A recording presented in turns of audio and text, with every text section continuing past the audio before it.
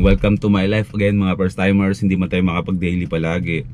Pero sisikapin ko na makapag-upload. Kung alam nyo lang kung gaano kahirap sa loob ko na hindi na ako makapag-upload sa araw-araw. Pero ganun talaga ang buhay. Ibig sabihin nun, kung may pagbabago na nangyayari sa buhay mo, may progress na nangyayari sa buhay mo.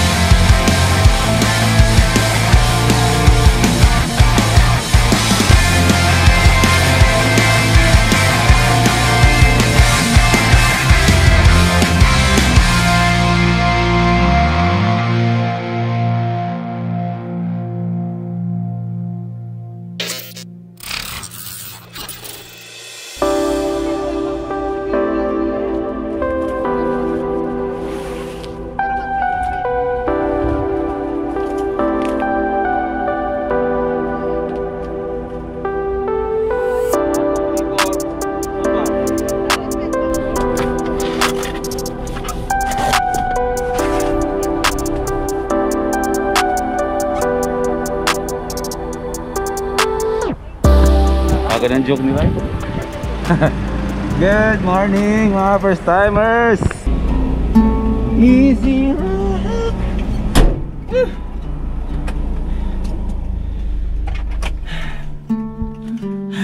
Grabe. Good morning mga first timers. Anong first time ang meron sa inyo ngayon? Welcome back again to another episode. Another day. Another grind. Syempre, another vlog. Kamusta? ang aga namin umalis mga first timers ano? Ang aga namin umalis. Umalis kami ng 5 AM sa Malolos. At ngayon ay andito tayo ngayon sa um, Manila para magpa-deliver diyan sa Daily Overland. Ayan. Yung mga binaba kanina, yun yung mga Gile helmets all the way to Bicol. And after dito ay pupunta tayo ng uh, Makati naman, Buendia kasi may idadrop din tayo doon sa isang parang ganito rin papunta naman ng somewhere in Mindanao. Ayan. Tapos pupunta tayo ng Victory Liner sa sa Cubao para i-drop yung para sa Tarlac yata and then pupunta tayo ng Antipolo para i-drop din doon sa ginagawang shop. Ito lahat to mga dealers lahat to ng first time moto. So ayan, today one big night ng Geely Helmet Philippines. So um, bago mag call time sa sa Geely ay inuna muna namin yung delivery. Syempre, trabaho muna tayo, 'di ba? Ito na yung bagong buhay natin pero syempre isasama ko 'yo. Tulad yung nasabi ko kahit sa mga post ko sa Facebook, pasensyang pasensya na kayo kung ganito na yung klase ng pag-vlog ko, ganito na lagi yung upload ko, hindi na ako nakakapag daily. Pero sisikapin ko. Ang aga namin nagising kasama ko si Ryan. Ayan, si Prisha. Ayan. Pati mo sila. Ayan, ang aga talaga naming umalis. So, ayan, magbubukas to ng 8 a.m. Kaya, mas maganda tayong nauna kami dito maaga-maaga para marami pa tayong mga pagdeliveran. So, ayan, welcome to my life again mga first timers. Hindi man tayo makapag-daily palagi. Pero sisikapin ko na makapag-upload. Kung alam nyo lang kung gaano kahirap sa loob ko na hindi na ako makapag-upload sa araw-araw. Pero, ganun talaga ang buhay. Ibig sabihin nun, kung may pagbabago na nangyayari sa buhay mo, may progress na nangyayari sa buhay mo. Kung sa tingin mo lang na ganun at ganun pa ulit-ulit lang, ibig sabihin nun, wala pang nangyayari. Hindi ko sinasabing walang progress. Nandun ka lang sa level na kinakatayuan mo, mapabuti man yan, nasa mabuting kalagayan ka man o hindi. Pero once na nagbago ulit yung grind mo, ibig sabihin yan, nag-level up yung buhay mo. So, sama ko pa rin kayo mga first timers, no?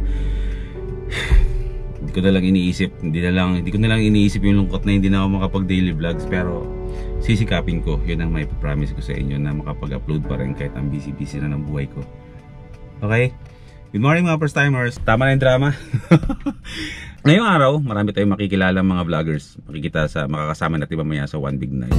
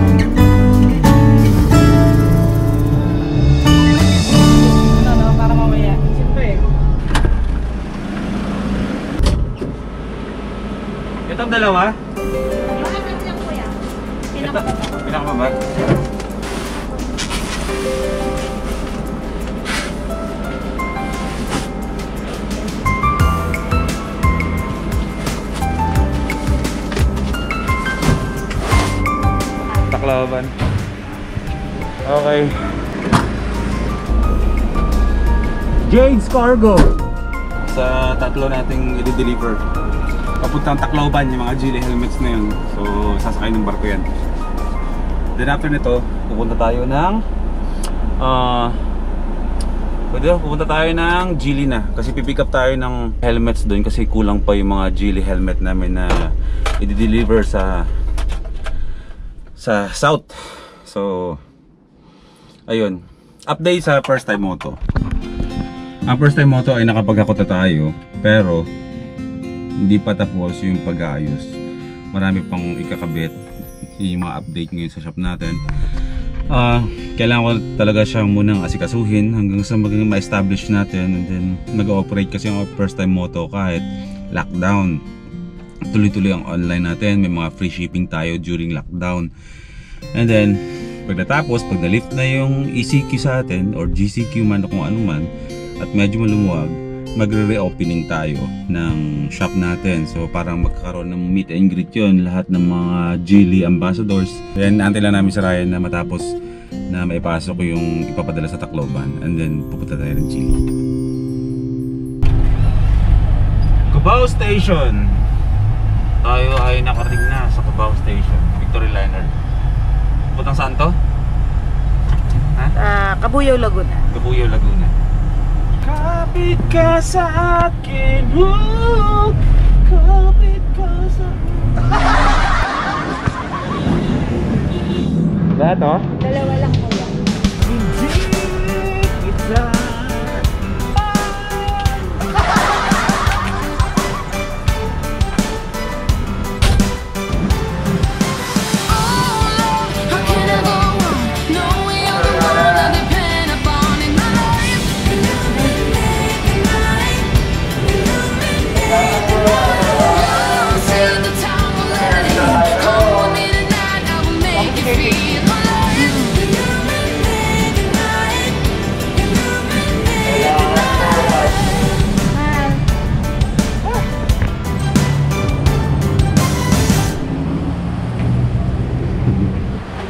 Na tayo sa Geely.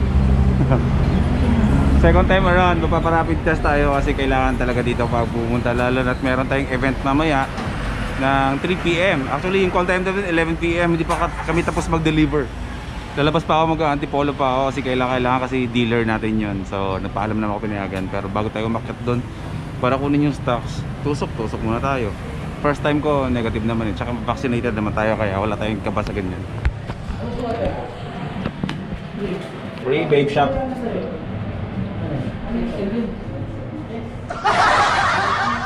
Wala naman tayong, wala naman tayong wars, di ba? Ulo, wala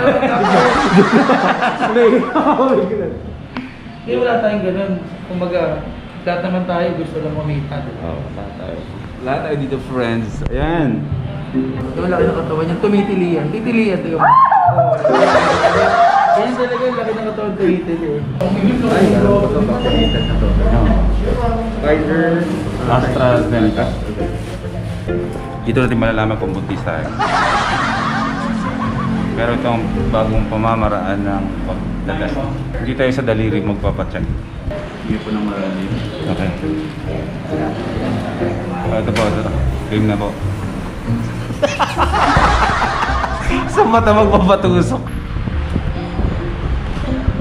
Di ramdam. Alam mo nakakatuwa yung may ganito. Kasi parang dumadagdag yung lakas ng loob ko na makakapunta na ako ng ibang lugar. Mindanao. Pupunta na Mindanao tayo. So ayun na po. Kitang kita na po natin na gumuguhit na. Ayan po. Ayan o. Congrats, negative. Congrats, negative. Vaccinated.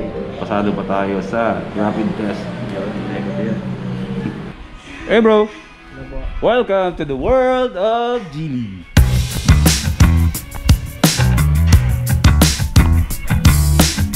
Hindi tayo mauubusan ng tax.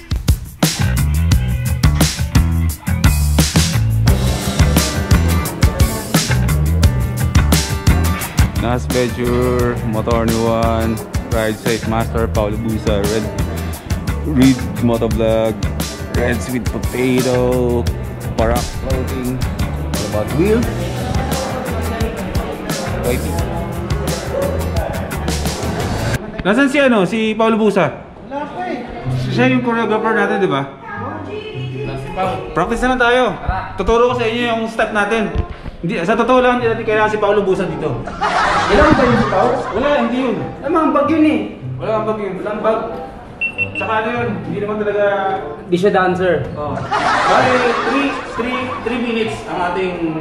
Ah, di ba? Sayaw natin. 3 minutes na yun? 3 minutes yun. So meron lang tayong dalawang step. Okay. Bali, 1, 2, One. 3. 30 seconds na ganun.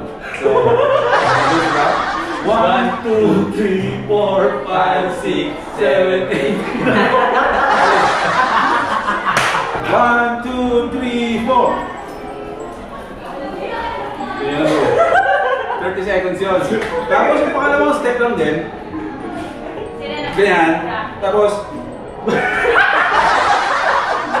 30 seconds lang din.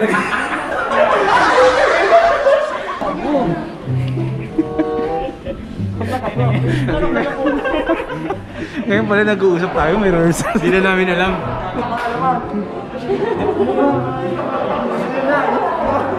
Kanya-kanya yung ulo.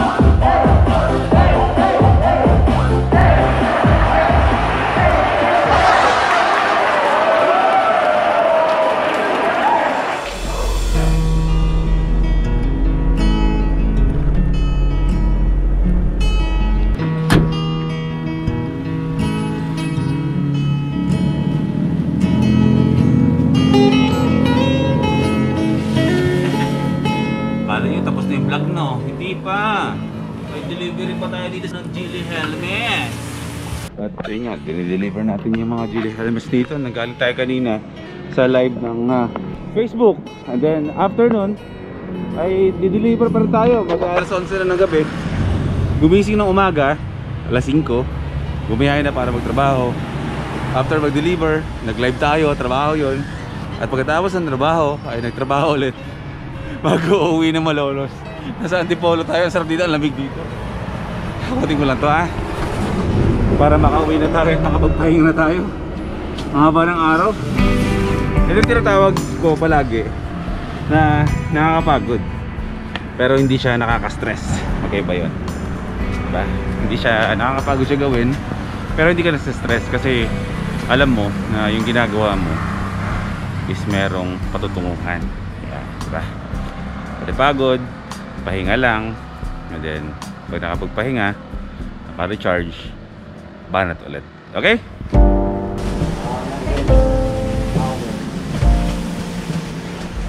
Tatapusin ko na mga first timers yung vlog ko dito. Maraming maraming salamat sa pagsama sa akin sa napakahabang araw ko.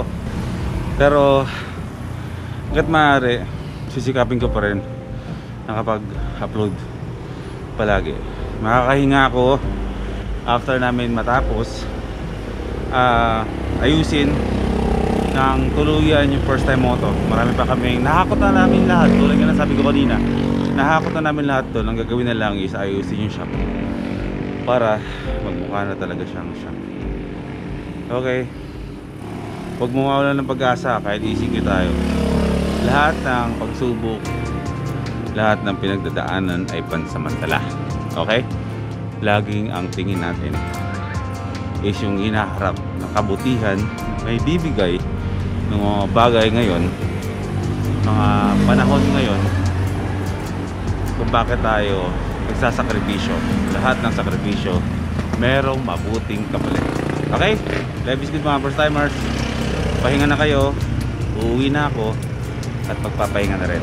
Magkita tayo sa susunod na. Life is good. If you wanna talk, I'm right here, not gonna leave your side. Just feel free to open up when the moment's right. Across your face, it is written across your face. If you wanna go out, we can go out. You can hide away just for one night. But if you wanna cry, just let it out. I'm by your side.